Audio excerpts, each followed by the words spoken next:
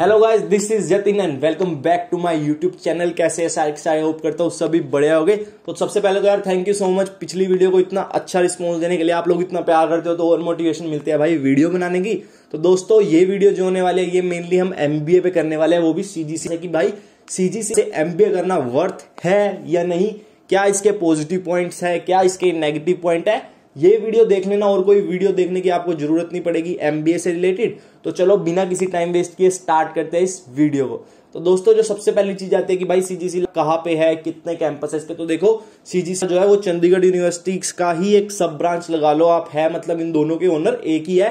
तो सीजीसी की मेनली दो ब्रांच है, एक लांड्रा में है, एक जंजेरी में है। सीजीसी की फुल फॉर्म है चंडीगढ़ ग्रुप ऑफ़ कॉलेजेस तो एक जो लांड्रा वाली ब्रांच है, वो 2001 की है और जो सीजीसी जंजेरी वाली ब्रांच है, वो अभी नई खुली है 2012 में। तो दोनों ब्रांचेस की सेम फ़ीस है सेम प्लेसमेंट है, सब कुछ सेम है। तो मैं अब दोनों ब्रांचेस की बात करने वाला हूँ तो आप ये ना सोचना कि भाई जंजेरी की बात कर रहे हैं लांडर की तो कंफ्यूज मत होना ज़्यादा। जो भी होगा, दोनों ब्रांचेस का सेम ही होगा जो मैं इस वीडियो में बात करने वाला तो सबसे पहले कि भाई एडमिशन कैसे लेते हैं एमबीए में? तो देखो मोस्टली यूनिवर्सिटीज का क्या होता है कि भाई पहले आपको फॉर्म भरना पड़ता है, फिर आपका भाई पीआई जीडी टेस्ट वेस्ट ये सारी प्रोसेस होती है, उसके बाद आपको एडमिशन मिलता है। बट सीजीसी में भाई कुछ नहीं है।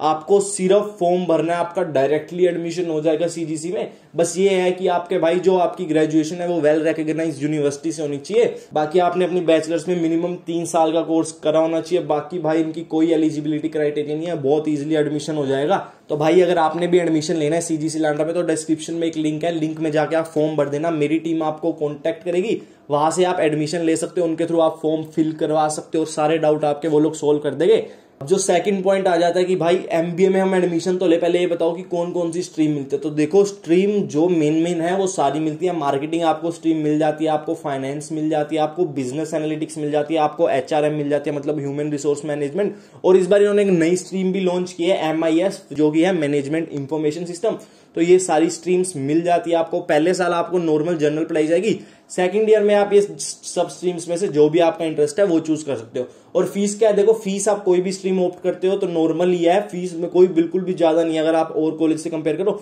तो देखो फ़ीस जो है, वो ओल्ड सेमेस्टर की है फोर्टी नाइन थाउज़ेंड मतलब फ़र्स्ट और थर्ड सेमेस्टर की रहेगी फोर्टी नाइन थाउज़ेंड सेकेंड और फोर्थ सेमेस्टर की रहेगी forty seven thousand five hundred जो कि बिल्कुल भी ज़्यादा नहीं है। अगर आप एमबीए कर रहे हो, भाई, अगर अच्छे कॉलेज से एमबीए करोगे तो इतनी फ़ीस तो यार लगती ही लगती है, इससे ज़्यादा ही लगती है, इससे कम नहीं लगती। और भाई, बाकी जो एडिशनल चार्जेस वगैरह होते हैं मतलब टू थाउज़ेंड इनकी जो है एग्जामिनेशन फ़ीस है, वो हर सेमेस्टर लगेगी और टू थाउज़ेंड सिक्योरिटी फ़ीस है, वो एक बार लगेगी और आपको लास्ट में वापस मिल जाएगी जब आपका कोर्स पूरा होगा।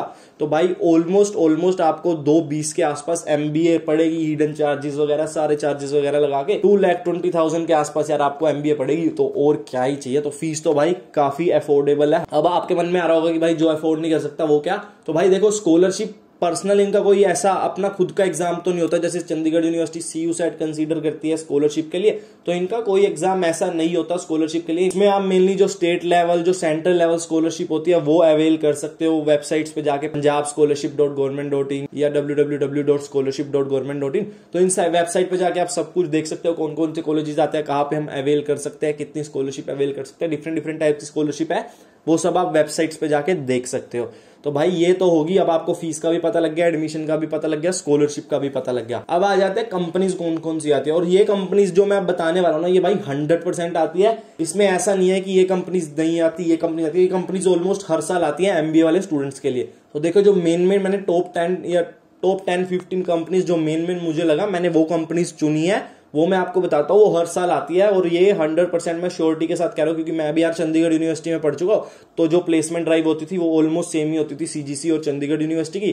तो भाई, जो कंपनीज़ मेनली आती है, वो एशियन पेंट्स आती है, बाकी सारे बैंक्स आ जाते हैं प्राइवेट आईसीआईसी हो गया एचडीएफसी हो गया एक्सिस हो गया। उसके बाद जो बड़ी कंपनीज़ है, उसमें डेलोइट आ जाती है ईवाई आ जाती है एक्सेंचर आ जाती है डी कैथलोन आ जाती है मैकिन्सी आ जाती है बजाज आ जाती है बोस आ जाती है सीसीडी आ जाती है मतलब कैफ़े कॉफ़ी डे तो ये सारी बड़ी बड़ी कंपनीज़ आती है स्टूडेंट को हायर करने। मैं मतलब आपको झूठी उम्मीद नहीं देना चाहता कि गूगल आती है माइक्रोसॉफ्ट आती है, वो नहीं आती। देखो एमबीए वालों के लिए बीटेक वालों के लिए ज़रूर आती है बट एमबीए वालों के लिए नहीं आती। तो इस झूठी उम्मीद में ना रहना कि गूगल माइक्रोसॉफ्ट में प्लेस हो गया। और वैसे भी वो उनके मोस्टली टेक्निकल रोल ही होते हैं तो एमबीए वालों को लेके कोई वो मतलब उनका भी फ़ायदा नहीं होता तो एमबीए वालों के लिए नहीं आती। बट हाँ ये जो मैंने कंपनी बताई, ये डेफिनेटली हंड्रेड परसेंट श्योर है, आती आती है।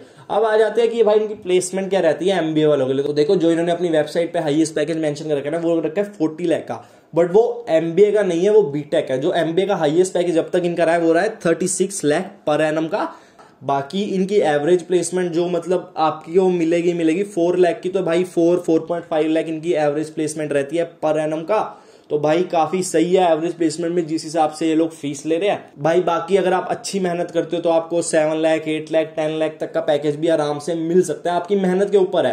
तो भाई, अब मेरा ओपिनियन क्या है? आप लोगों को एडमिशन लेना चाहिए या नहीं? तो भाई, मेरा ओपिनियन है यस डेफिनेटली आप लोगों को एडमिशन लेना चाहिए। अगर आपका मन है कि भाई, हमने एमबीए करनी है, अच्छे कॉलेज से बट हमारा बजट कम है और हमारे इतने मार्क्स भी अच्छे नहीं थे प्रीवियस तो डेफिनेटली सीजीसी आपके लिए वर्थ है। देखो, सबसे ज़्यादा ज़रूरी होता है रिटर्न ऑन इन्वेस्टमेंट कि हम पैसे जो लगा रहे हैं, वो हमारा कितने टाइम पे वापस आएँगे? मान लो अगर आपने दो लाख बीस हज़ार रुपए एमबीए पे लगाया, अगर आपका एवरेज पैकेज भी लगता ना, भाई एवरेज कम मतलब एवरेज लगता है अगर आपका पैकेज साढ़े चार लाख का मान लो तो भाई छह महीने में आपके पैसे वापस आ जाएँगे। यार और क्या चाहिए?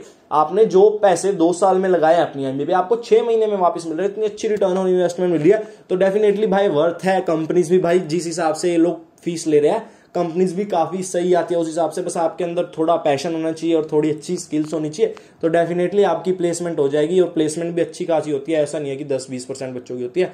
सिक्सटी सेवेंटी एट्टी परसेंट बच्चों की तो भाई इजिली प्लेसमेंट हो जाती है। तो डेफिनेटली थम्स अप है सीजीसी को अगर आपने एडमिशन लें तो बाकी डिस्क्रिप्शन में मैंने लिंक छोड़ दिया, वो फॉर्म ज़रूर भरना। आपके भाई सारे डाउट क्लियर हो जाएँगे। अगर जो इस वीडियो में नहीं हुए तो आप फॉर्म भर देना। सारे डाउट क्लियर हो जाएँगे और मेरी टीम हेल्प कर देगी आपको फॉर्म भरवाने में भी। मतलब एंड प्रोसेस तक फॉर्म भरवाने से लेके एंड प्रोसेस तक जब तक आपका एडमिशन नहीं होता, मेरी टीम आपके साथ रहेगी। और अगर बाय चांस फॉर्म भरते हो टीम का कॉल नहीं आता तो ये नंबर भी दो टोल फ्री शो रहे। आप इन पे भी कॉल करके डायरेक्ट पूछ सकते हो, जो भी आपके डाउट है, आप फॉर्म भरना चाहते हो, आपको कुछ समझ नहीं आ रहा तो सब कुछ सोल्व हो जाएगा। आपको कोई दिक्कत लेने की ज़रूरत नहीं है।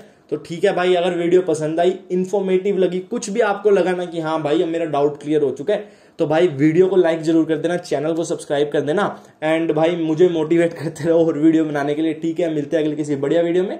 टिल देन बाय टेक है डे बूम